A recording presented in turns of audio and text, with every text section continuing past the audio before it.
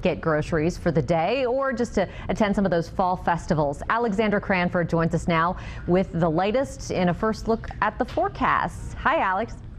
Hey Katie, yeah, beautiful weather out there today. Just about perfect if you were heading out to get some groceries, if you're heading out uh, along the lakes or on the rivers or so forth. And you're also looking at really nice weather for the festivals going on. So as we head into tonight, another pretty cool night. Look at these temperatures we can expect for Sunday night or excuse me, Saturday night and into early Sunday morning. These are the temperatures you'll be starting off at 45 to 50 on the North Shore and about 57 to 62 on the South Shore. So another somewhat cool morning. In fact, Slidell some North Shore areas did get down into the mid uh, 40s for low temperatures early this morning. And as you saw, it'll be a similar story for early on Sunday. Now, what we'll see tomorrow is high temperatures a little bit warmer most of us warmed up into the 80, 81, 82 degree range today, but for tomorrow about 80 to 85 expected. Still beautiful weather. We'll see that high pressure shift off to the east a bit. That dry air will slowly be moving to the east as well. Will be a little bit warmer for tomorrow and then for the start of the work week, a little bit warmer and a little bit more humid as well. I'll give you that forecast coming up in just a little bit. All right, Alexandra, thank you.